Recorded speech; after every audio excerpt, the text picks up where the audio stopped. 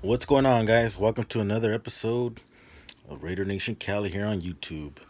Today, I wanted to do a quick review on some horror decor. Those of you that don't know, I'm a big horror fan, fanatic, should I say. And uh, a friend of mine on YouTube uh, put me onto this site that sells horror decor for your home.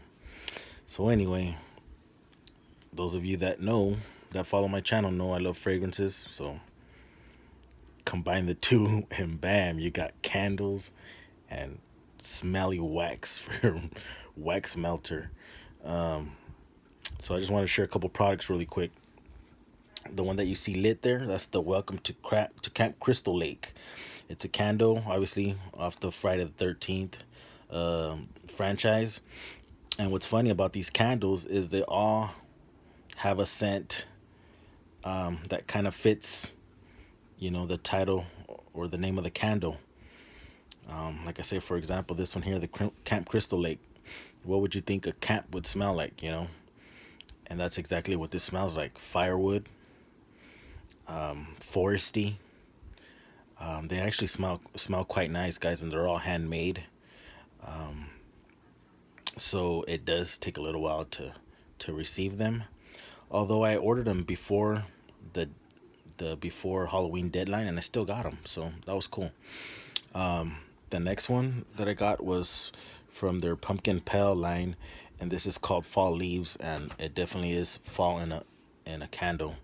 Um, definitely has that you smell it and then I mean it feels like you're small, smelling fall like fallen leaves and like a dewy dewy outdoorsy type of scent so um yeah i love that one.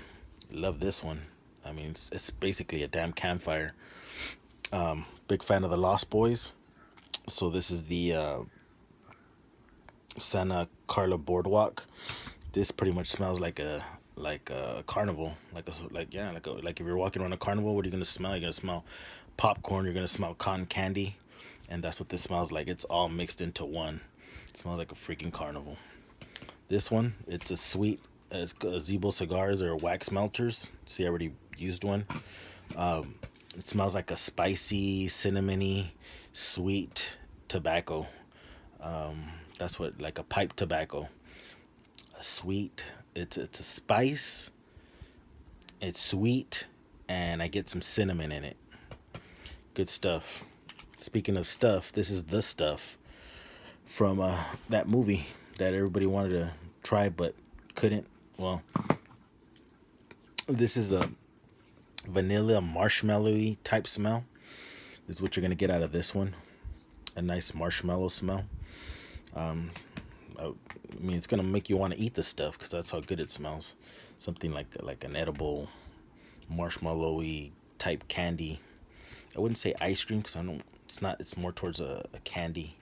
Um, Oh, and by the way, this is this clown is from the uh, "Are You Afraid of the Dark" episode. Um, uh, my God, what's the name of the episode? Of Tell, Tell the Laughing something. I'm sorry, I forgot.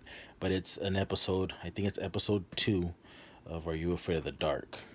Um, that's where this clown is from. So yeah, guys. Oh, one last thing. I got a pillow from, yep, those that know, know. Those that don't, don't know horror. The Exorcist, guys. I got this pillow. It's pretty fluffy. And, uh, yeah, I think I might may do start getting a, a collection of these little things.